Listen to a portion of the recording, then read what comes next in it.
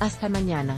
Solo los socios y socias del diario.es pueden acceder a este contenido. Leer ya las noticias de mañana es solo una de las razones que han llevado a nuestros más de 62.000 socios y socias a apoyarnos. Tú también puedes hacer posible el mejor periodismo independiente. AdBlock Test, UI